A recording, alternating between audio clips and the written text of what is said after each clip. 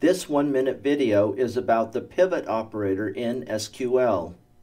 The pivot operator rotates a table so that the values in one column become new column headings.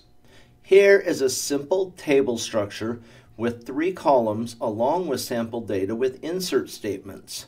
The first column is the foreign currency exchange symbol and the second is the date.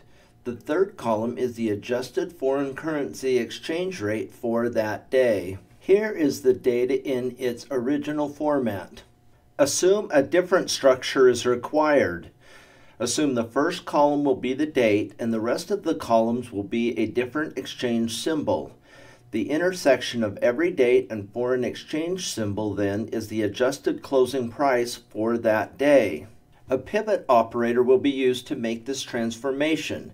An aggregate is required for the pivot operator, so we use max, but there is only one value anyway.